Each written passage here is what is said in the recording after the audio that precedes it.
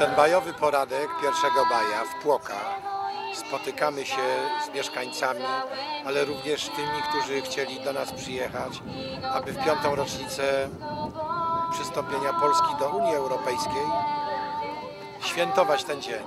Jest to rzeczywiście wielkie wydarzenie dla Polski, ponieważ po raz pierwszy e, możemy czuć się e, swobodnie, po raz pierwszy możemy to święto wspólnie z e, całą Europą świętować, ponieważ Polska znowu znalazła się w krajach e, Europy Zachodniej, jej kultury, jej tradycji, a przecież Polska również budowała tą tradycję przed II wojną światową, tradycję kultury y, europejskiej. Dzisiaj w Płokach spotykamy się również z okazji drugiego rajdu rekreacyjnego Płoki 2009. W tamtym roku spróbowaliśmy po raz pierwszy, jakkolwiek nie była to imponująca liczba, bo około 40 rowerzystów było w tamtym roku, ale w tym roku y, ta impreza przerosła nasze najśmielsze oczekiwania. Właśnie z tego powodu, że chcemy, aby Płoki stały się y, taką wsią rekreacyjną, żeby tutaj do nas przyjeżdżali ludzie odpoczywać, żeby tu ludzie mogli z nami spotykać się, podziwiać piękna ziemi płockiej. Y, To właśnie wyprawy rowerowe będą miały wielkie znaczenie, bo właśnie dzisiaj za chwilę goście z Krakowa, ksiądz Fułat y, pokropi i otworzy przystanek turystyki rowerowej. Pierwszy taki przystanek na terenie gminy Trzebinin. To jest po prostu y, duże osiągnięcie tej grupy ludzi, którzy zdecydowali się podjąć taki wysiłek i taką y, działalność, zwłaszcza grupa skupiona w Stowarzyszeniu Przyjaciół Płok. To jest również e, wielki wysiłek organizacyjny, bo jak powiedziałem, wzięło udział e, w dzisiejszym rajdzie około 150 uczestników. Najsta- najmłodszy miał jeden roczek i jechał na wózeczku rowerowym e, z mamą, a najstarszy miał 72 lata. Rozpiętość więc ogromna, ale cieszyć się należy, że wszyscy cali zdrowi objechali trasę, chociaż było bardzo ciężko i mamy wielką nadzieję, że spróbujemy te trasy poprawić, aby one stały się ścieżkami rowerowymi gminy Trzebinia, żebyśmy mogli na przykład pozyskać środki finansowe z Unii Europejskiej, o których tak pięknie dzisiaj tutaj mówił y, eurodeputowany, który był na naszym otwarciu tego przystanku.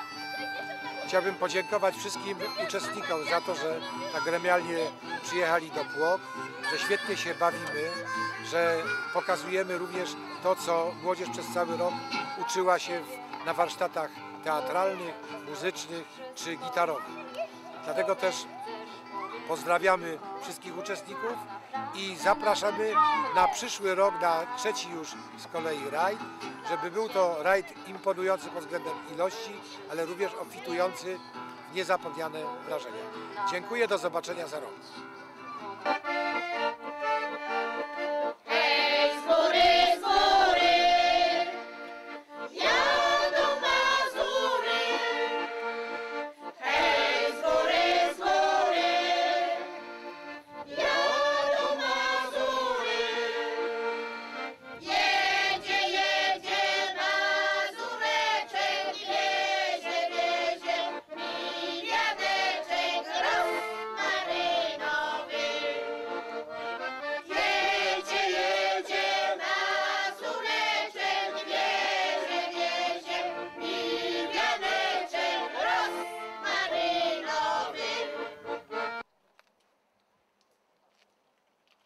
Boże troskliwy Ojcze, Ty powierzyłeś ludziom ziemię i jej owoce, aby swoją pracą zapewnili wszystkim udział w dobrach przez Ciebie stworzonych.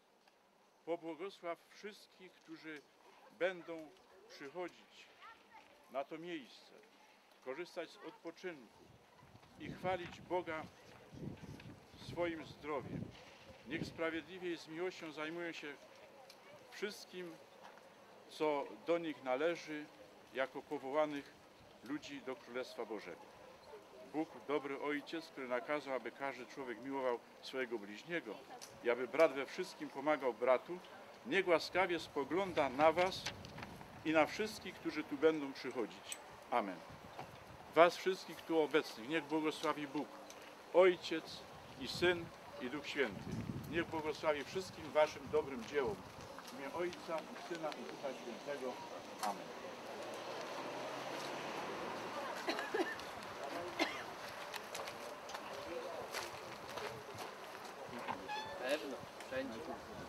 Pochlapać porządnie.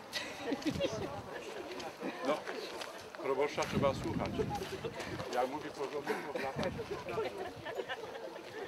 To będziemy, żebyśmy z, z wodą do kościoła nie wracali. A właśnie, a jest sucho bardzo. tamtych małych, żeby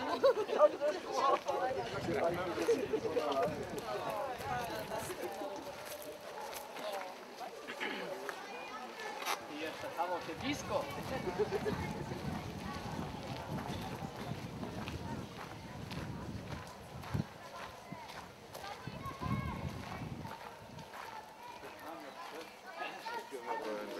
Szanowni zebrani, szanowni Państwo, wszyscy goście. No nadzwyczaj miło przy tak wspaniałej pogodzie zobaczyć tak piękne obrazy.